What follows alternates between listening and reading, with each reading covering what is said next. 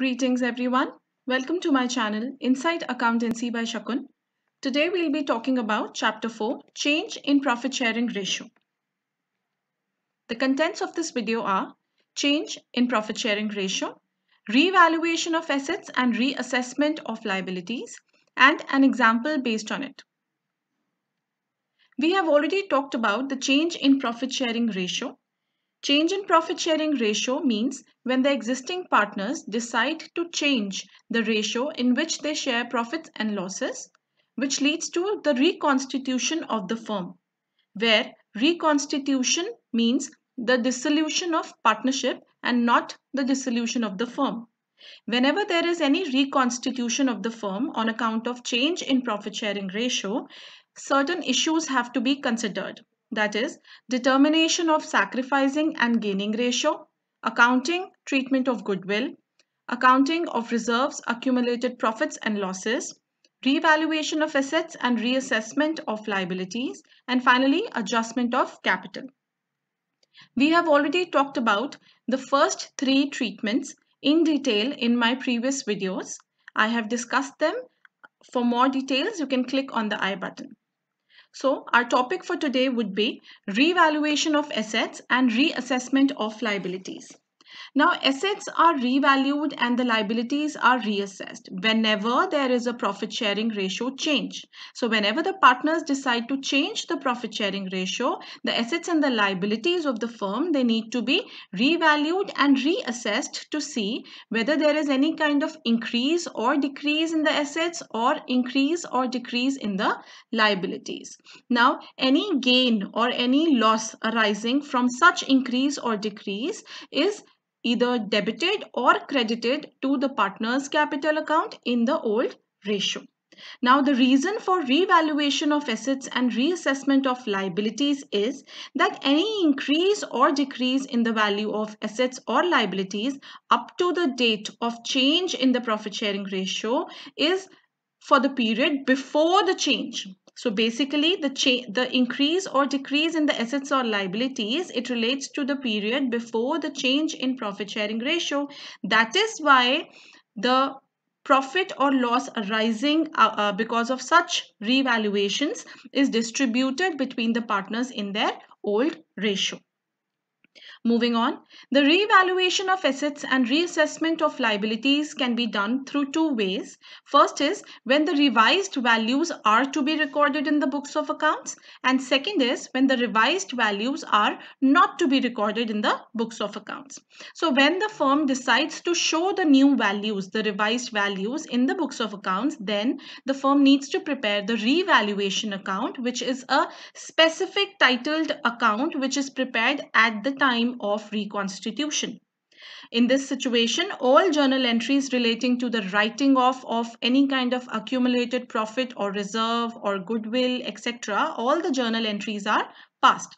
In the second method, that is when the revised or the changed values are not to be shown in the books of account, then the revaluation account is not prepared only a statement showing net effect is prepared and all journal entries are not passed. Only one adjusting entry that is gaining to sacrificing is passed. Let's have a look at uh, a more elaborate uh, description so the revised values of assets and liabilities if recorded in the books of accounts that is when the revised values are shown in the books of accounts then any increase or decrease in the assets and liabilities is either debited or credited to a new account that is revaluation account and the gain or profit is transferred to partners capital account. In case the revised values of assets and liabilities are not to be recorded in the books of accounts then the difference between the changed values of both assets and liabilities is determined by preparing the statement showing adjustment and the net amount, the net effect is calculated which is debited or credited to the gaining or sacrificing partners. That is an adjusting entry is passed. Now what is an adjusting entry? Adjusting entry is the entry which used to pass for goodwill also. That is gaining partners capital account DR to sacrificing partners capital account. moving on uh, we'll be talking about the first method in this video that is when revised values are to be recorded as i already told you that whenever the firm decides to show the revised or the changed values then a separate account is prepared which is known as revaluation account or profit and loss adjustment account so in the in this method certain journal entries are to be passed so the accounting entries to record the revaluation of assets and reassessment of liabilities under the first method, that is when revised values are to be recorded, the journal entries would be there will be certain journal entries for assets. Now, if you look at the value of assets, there will be either an increase in the value of an asset or there will be a decrease in the value of an asset or there might be certain unrecorded asset which is not recorded in the books of accounts at all till date. So these three circumstances might be there re relating to assets. Now in case of increase in the value of an asset, if the value of asset is increasing, assets always have a debit balance, right? So assets always have a debit balance. That is why asset account is debited and this increase is transferred to the new account that is revaluation account for the decrease in the value of an asset. Since the increase in the value of an asset was debited, the decrease will be credited. So therefore, the decrease in the value is credited to asset account and debited to revaluation account. For recording an unrecorded asset, unrecorded assets are those assets which have not been uh, shown or which have not been recorded in the books of accounts yet. So unrecorded asset in other words would mean an increase in the value of an asset. So therefore asset account is debited and it is transferred to revaluation account. Moving on, the journal entries for liabilities can be for increase in the value of liability or for decrease in the value or for unrecorded liability. Now liabilities always have a credit balance. Therefore, increase when the liabilities is increasing, liability account is credited and it is transferred to revaluation account. For decrease in the value of liability, since liabilities have a CR balance, any decrease will be debited. Therefore, liability account DR to revaluation account. Now, any unrecorded liability would mean that there is an increase in liability. Therefore, liability account is credited and revaluation account is debited. So after you show the increase or decrease in the values of assets and liabilities, there will be certain amount of profit or loss when we try to balance the revaluation account. In case of profit, as you very well know that the profit balancing figure always comes on the debit side. The profit always comes on the debit side. That is, if the total of credit side is more than the total of debit side, it leads to net gain or profit. And therefore, the entry would be, since the profit comes on the debit side, so revaluation is debited. And since the partners are receiving such profit, therefore, partners capital or current account is credited. In case of loss, that is, if the total of debit side is more than the total of the credit side, it leads to net loss. And in case of loss, the revaluation account is credited. And since the partners need to bear it, therefore partners capital or current account is debited. So these were the journal entries relating to assets, liabilities and the profit and loss. Moving on, there can be certain extra entries, certain adjusting entries for expenses on reconstitution of the firm. Now, uh, there are certain expenses which may be incurred by the firm in order to give effect to the change in profit sharing ratio. Now these expenses, they may be incurred such as remuneration to partner or any kind of payment made to any outside party for rendering any services. So at the time of reconstitution of the firm due to change in profit sharing ratio, a firm may uh, uh, bear certain expenses. Now regarding the expenses also, there are certain entries. Depending upon the case, we'll pass the correct entry. When remuneration is paid to the partner.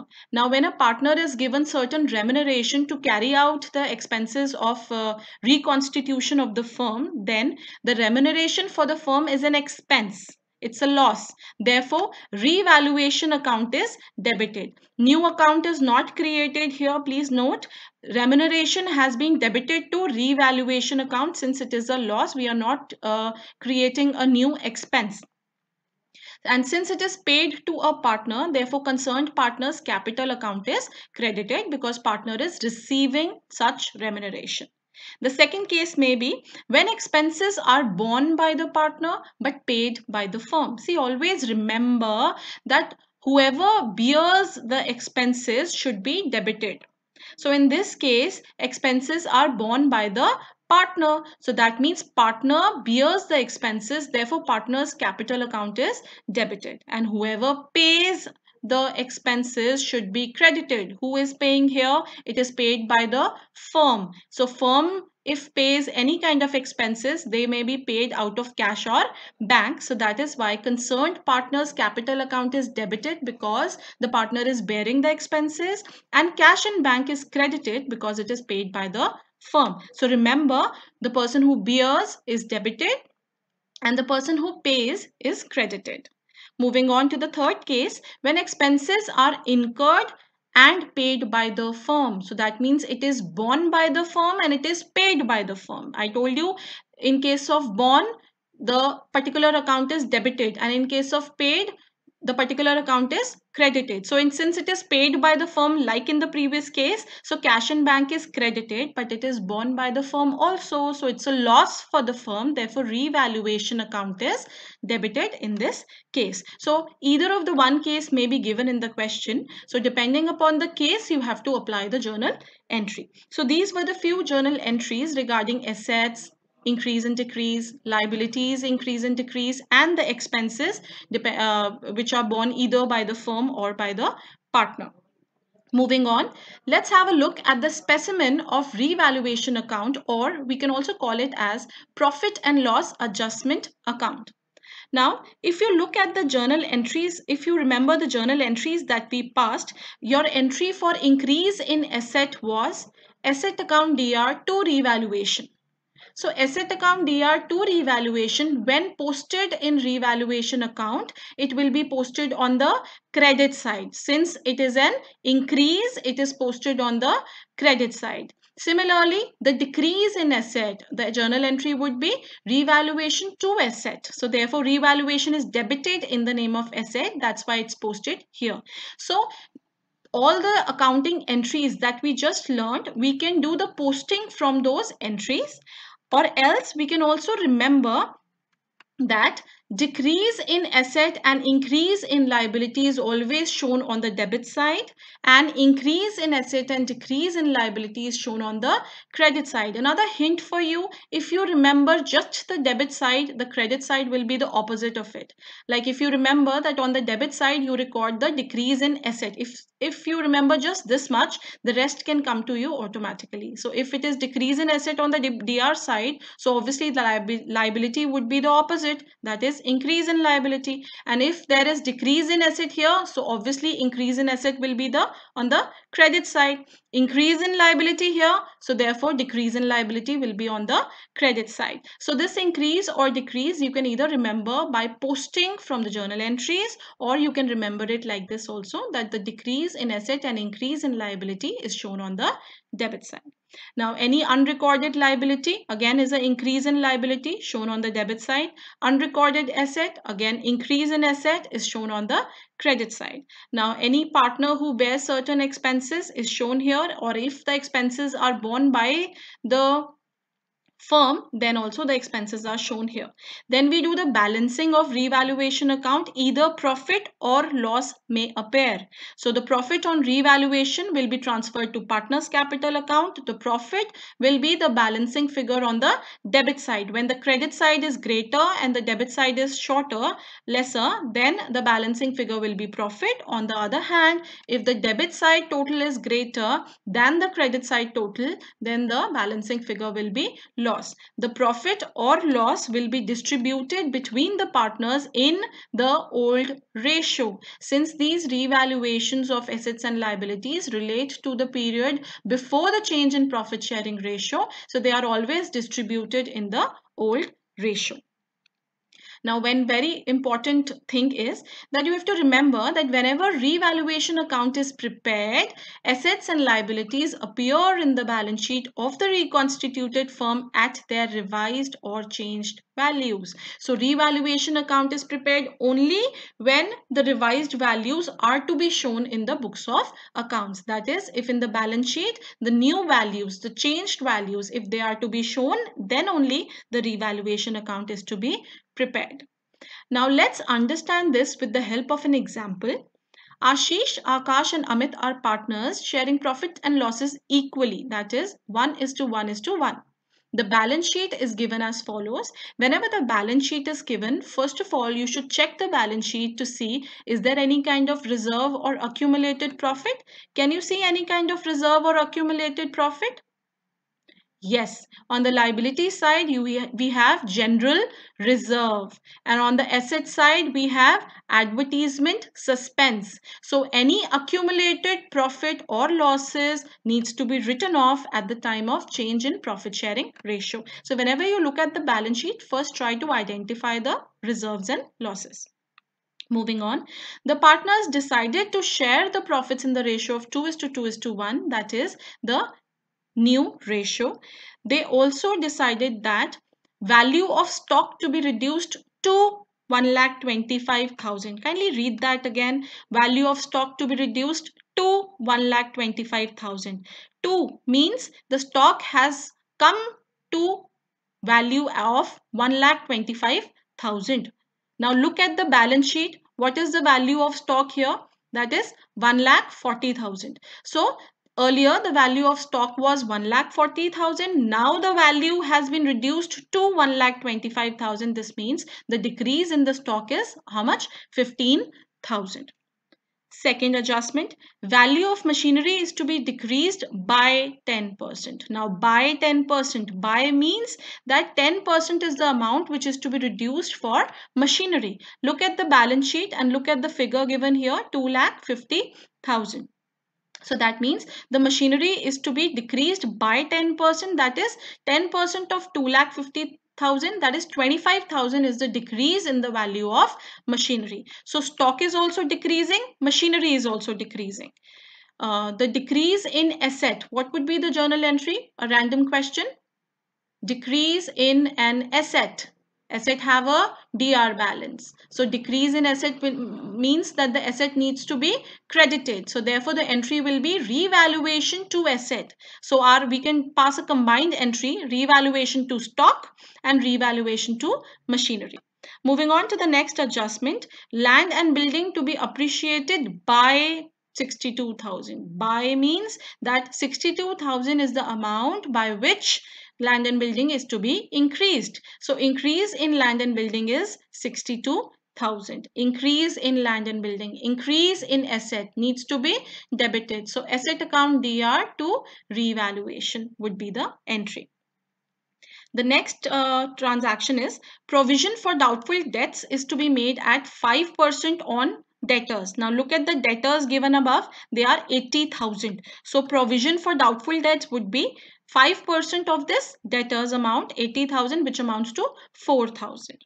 The last entry Akash was to carry out the reconstitution of the firm at a remuneration of 10,000. So Remuneration of 10,000 is to be paid to Akash. Remuneration is an expense for the firm. Therefore, revaluation account should be debited. And Akash is receiving the remuneration. Therefore, his capital account should be credited. Now, let's have a look at the solution. So this is the format of journal. The first entry, as I already told you that whenever the balance sheet is given, you need to identify the reserves and accumulated profits and reserves. So the first thing that was uh, identified on the liability side was general reserve. It is written off by debiting it and it has been distributed amongst the partners in their old ratio. Then we had also identified advertisement suspense. Advertisement suspense was given on the asset side having a debit balance. When you have to write it off, you have to credit it. So therefore this has been credited and partner's capital account has been debited. Again, the 6000 is the amount which has been distributed in the old ratio. Moving on, we had read all the adjustments. Stock was declining, machinery was declining, provision for doubtful debts is the increase in liability therefore it should be credited and Akash's capital also was to be credited. So I have made a combined entry for all. Revaluation in all these four cases was to be debited. So rather than passing four separate entries, I have passed one combined entry. So this is the decrease in stock, the decrease in machinery, increase in liability and the expense which is to be paid to Akash. Moving on. The next entry would be regarding land and building. Since the value of land and building was increasing, therefore I could not combine this entry with the previous one. So I've passed a separate entry for this. Land and building, because of uh, the increase in the value of an asset, it is debited and revaluation is credited. So on balancing the revaluation account, we got a profit of 8000 as we will see on the next slide when I'll show you the revaluation account. Although in this question it was not asked, but I have still prepared it for uh, better understanding.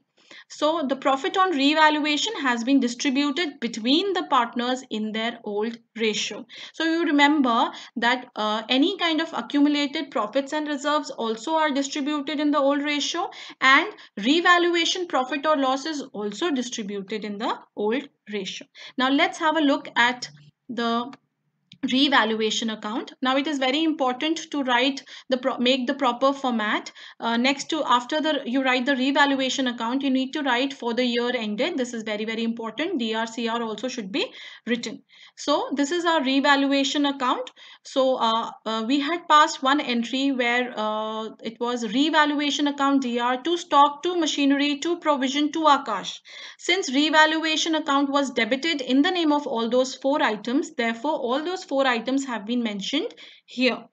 So this I explained with the help of journal entry how posting can be done.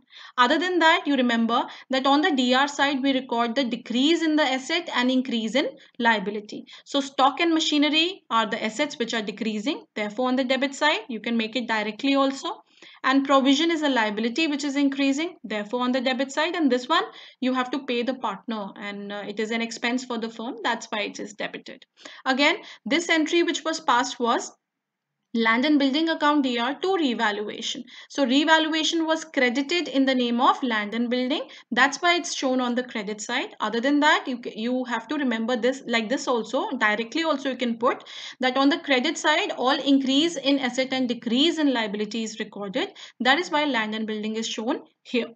So when we try to balance the DR and CR side, the greater total is on the credit side. We write it on both sides. And from the 62,000, we, we subtract all these amounts. So the balancing figure is 8,000. Since the balancing figure is on the debit side, this is the profit. And profit on revaluation is transferred to partners capital account in their old ratio. So this 8000 has been distributed between Ashish, Akash and Amit in their old ratio certain important things which you should note and this is something which is very very important. Kindly take a screenshot of it and keep it with you. It will really help you during your exam times.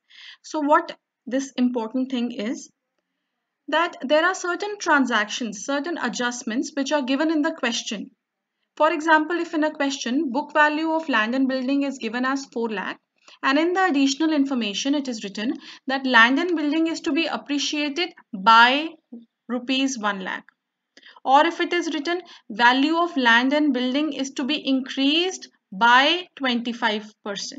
Now, if you look at the first adjustment, it means land and building is to be appreciated by 1 lakh. That means increase in the value is 1 lakh. In the second case, the increase in the value is 25%. Now 25% of 4 lakh is again 1 lakh. So it's one and the same thing. The third case, value of land and building is to be increased 2 rupees 5 lakh. 2 rupees 5 lakh means that the new value is 5 lakh. The old value was 4 lakh. So the increase is how much? 1 lakh. Again the same thing. Land and building is to be increased to 125%. Now 125% of 4 lakh amounts to 5 lakh. That means again the change is how much? 1 lakh. Land and building is valued at rupees 5 lakh. Again the new value is 5 lakh. The old value was 4 lakh. So the increase is 1 lakh. Land and building is undervalued by 1 lakh. Undervalued by 1 lakh means that the value which is given to you that is 4 lakh is less by 1 lakh. That means it should be increased by rupees 1 lakh. Land and building is undervalued by 20%. So by 20% means uh, this is a typical case. Uh, undervalued by 20% means the value which is shown here is undervalued by 20%. Now this 20% is to be calculated on the increased value which is not given in the question. So when we try to calculate it on 4 lakh, we change our rate. So 4 lakh into 20 by 80 will give us the value of increase. So basically in all the above statements, the language is different but the accounting treatment is exactly the same. All these adjustments are leading to increase in the value of land and building by rupees 1 lakh and therefore the entry will be land and building account DR to revaluation that is 1 lakh. So this is something which is very very important. Students uh, really get confused in all these different kind of uh, transactions. Moving on, if it is written that the book value of plant and machinery is 1 lakh and such adjustments are given. First, plant and machinery is to be depreciated by 20,000. So the decrease is how much? 20,000. Simply, it's very much clear. Plant and machinery is to be decreased by 20%. Again means that the depreciation or the decrease is how much? 20%. So 1 lakh into 20% amounts to 20,000. Value of plant and machinery is to be decreased to 80,000. That means that the new value is 80. The old value was 1 lakh. That means 20,000 is the value of decrease plant and machinery is to be decreased to 80%. So the new value is 80%. 80% of what? 1 lakh that is 80,000. Again the value of decrease is 20,000. Plant and machinery is valued at 80,000 that means the value is given. The new value is lesser so therefore the decrease is 20,000. Plant and machinery is overvalued by 20,000. Overvalued means that this 1 lakh is more by 20,000. Therefore, it should be decreased by 20,000. Again, the value of decrease is 20,000. Plant and machinery is overvalued by 25%. Now, overvalued by 25% is typical.